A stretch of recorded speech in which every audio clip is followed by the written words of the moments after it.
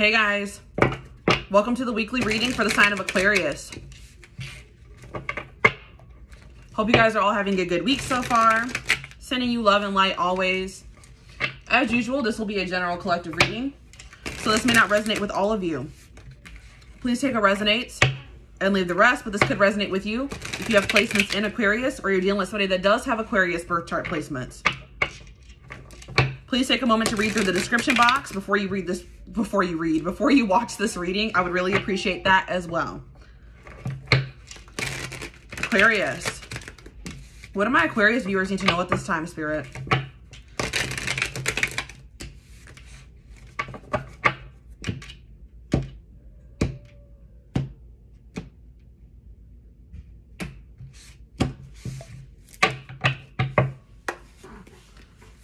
Aquarius.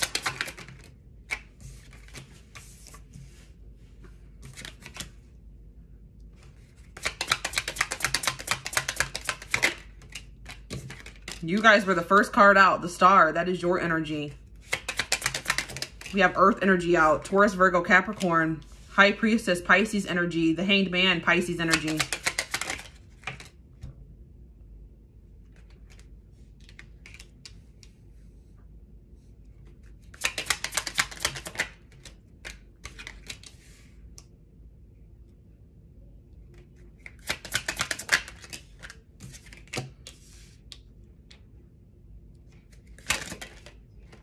Now we have fire energy out here. Aries, Leo, Sag. The five of four of pentacles wanted to jump out as well. So mm -mm -mm. um somebody's listening to their intuition and they're looking at something differently. Some of you guys will be dealing with a cancer as well. This is kind of similar to cancer's reading but somebody has been holding back because they were yet to put an end to a situation or they hadn't changed something in their life or they hadn't changed. They hadn't gone through a transformation. They hadn't moved on from something. That's why they they hadn't moved on from some type of family situation that was very tense or some type of something else some type of something that had a foundation in their life. They hadn't moved on from that yet. And um, there was a lot of con conflict and tension in that situation this this situation that they were not they were holding on to went against the divine plan. All right? Um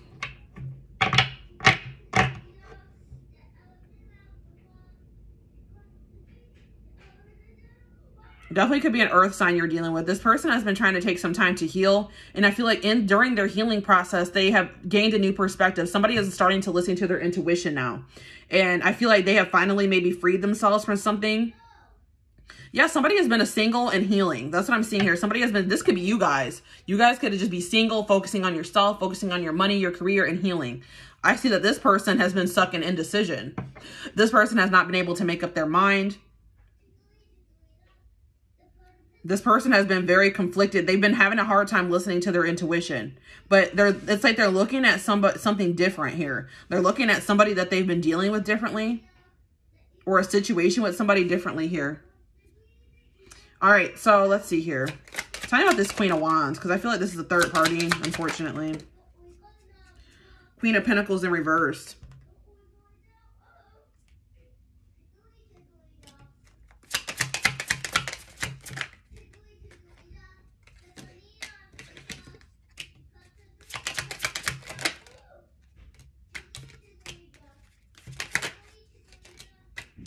some type of family or home situation has fell apart. That's what I'm seeing here. That like there's there's no stability in a situation.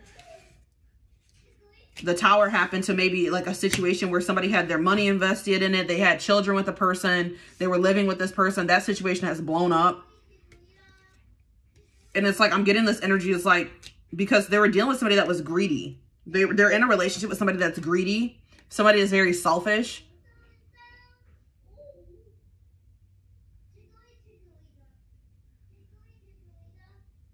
somebody that's very unstable. And now I feel like somebody's feeling like, I feel like this is two people. This is, one of these people is like you. I feel like you guys are this Queen of Wands, all right? Some of you guys could have fired placements in your birth chart. They're looking at you as very attractive, very abundant, very beautiful, they're feeling very attracted to you. And I feel like they maybe were in some type of family situation with this Queen of Pentacles in reverse, this greedy, selfish person. Um, and that situation blew up and now they're having regrets here. They, they're in regret energy. They feel like they've missed an opportunity because they maybe pursued something that didn't work out for them. All right. So, or yeah, they're looking at a situation differently. They're looking at you differently. They're looking at, they feel like they should have chose you. That's what I'm seeing here. You guys can hear my child singing Hickory Dickory Dock in the background.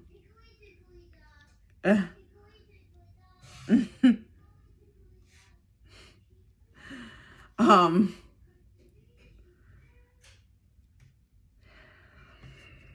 Yep, somebody feels like they wish they would have chose you. They know that they made the wrong decision. They couldn't they couldn't make up your mind between you and another person. So now what? Two of Swords. And they're having a lot of conflict. With, I feel they're having a lot of conflict. Yeah, they made a decision that didn't work out. Like it did not was not successful. Whatever they chose did not work out, was not successful. Yeah, they tried to have some type of new stable beginning with somebody, but I'm feeling like that did not. Let's see here. Strength. King of Wands. They've been trying to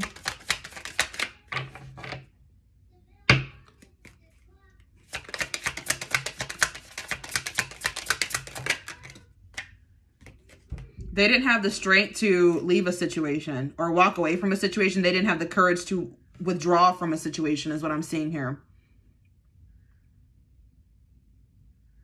But I feel like this person, they're trying to also gain the courage to come back. They're trying to make a return here. Yeah, they want to communicate that they've released something toxic from the past. That they've released something toxic from the past. They see that things clearly now. Yeah, something that they were holding on to, they have released now. So tell me about the High Priestess and the Five of Wands.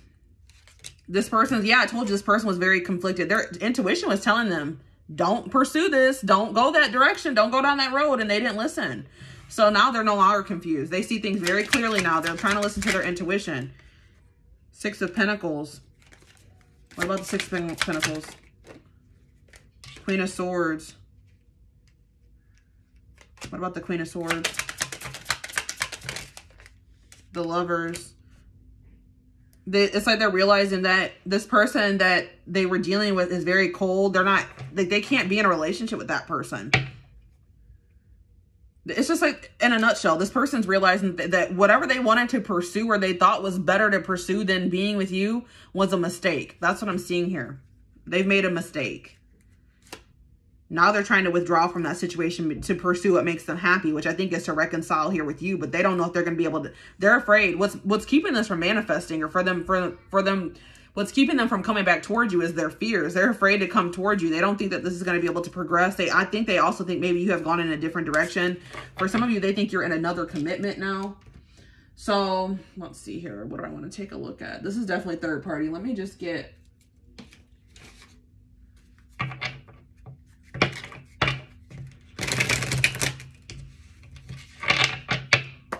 Tell me more about this. So what's going on here?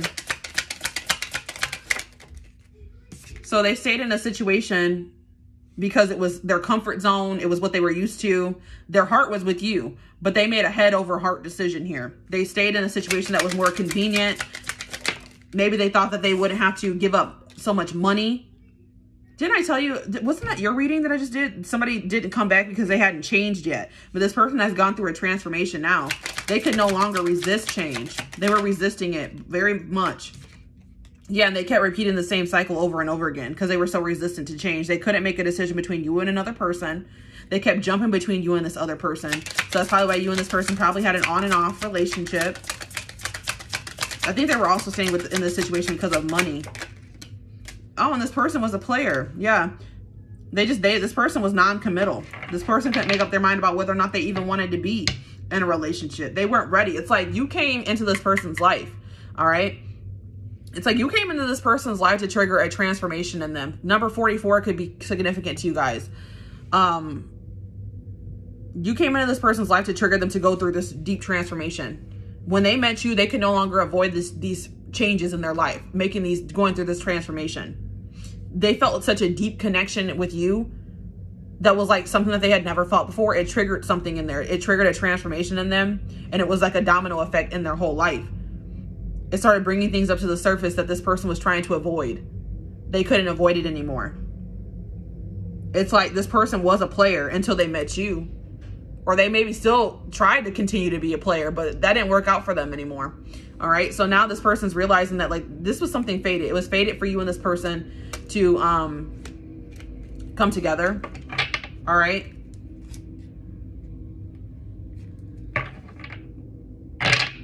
Yeah, I don't feel like this person is messing around with I don't think they're messing around with anybody anymore. They have moved out of a home. They're no longer in a home situation or they have they're getting out of their comfort zone. Yeah, they're no longer wanting to stay in their comfort zone or they have removed themselves from their comfort zone or they're ready to.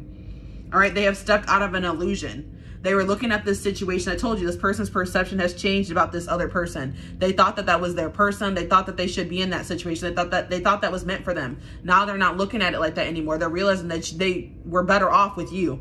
All right. They may have even had to remove some friends from their life that were bad influences on them. This person wasn't practicing self-care. They weren't taking care of themselves or they were not making healthy choices for themselves. All right. So this is what I see here for you guys.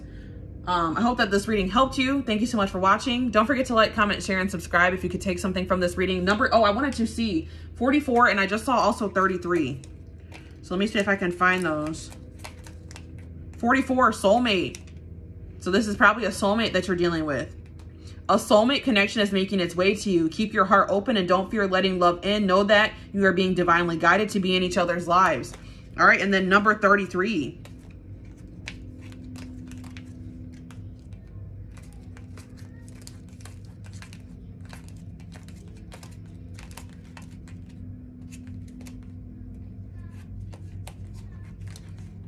Self-love. What did I just say?